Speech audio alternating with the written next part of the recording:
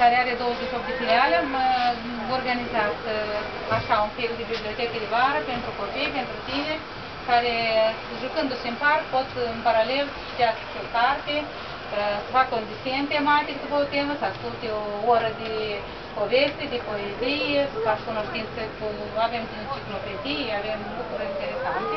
Deci, e ceva improvi, improvizat pentru prima dată, așa cum câte am înțeles că doamna care e responsabilă de Am văzut la știri. Da, păi iată, da. Iată aici este, așa că uh, facem uh, ore de Dar el lectură.